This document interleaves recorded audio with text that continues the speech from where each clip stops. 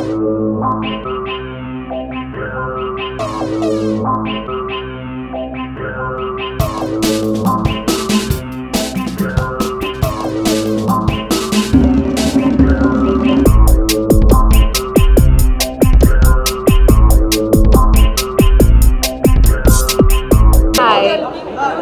Thank you very much. Let's for she is the campaign of a Lux. So what is the first thing that comes to your mind when I say he for she? Uh, about time, and I think it's always been around, but I think we're just celebrating it more and more now. So, um, yay! You know, everything that with women talking about it, do you ever want to say something about all the movement that's happened? It's a very empowering movement for all Absolutely, and that's exactly what I'd like to say. That uh, I'm so glad that we have an environment where people feel safe enough to share their stories because it's really difficult to share these stories, and to have the courage to come about, come around and say these things and speak your truth. But I'm so glad that it's happening because it's about time, and uh, more power to everyone.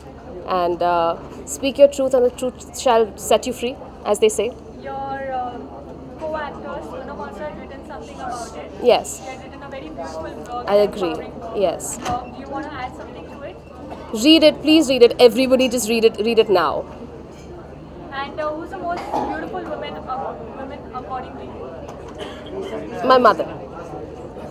And tell us something about it. Give us a sneak peek into what's going to happen inside. We've been complimented from everyone. So, uh, uh, you and I are in the same boat, my friend, because I have no idea either. This is the first time I'm attending uh, this award, and I'm really excited because I've been nominated. So, I'm really excited. Last time we spoke, you told us that you'll tell us about your next project soon, and still waiting. Uh, very soon.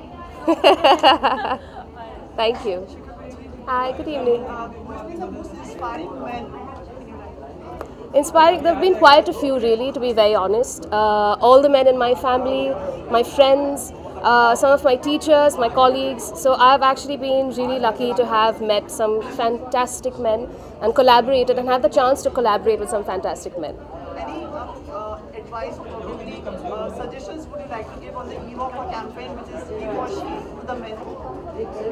Uh, get uh, completely acquainted with the uh, movement because it's on, it's happening, and you need to know about this. So uh, get with it. Have a evening. Oh, thank you so much. Thank you. Bye bye. See ya.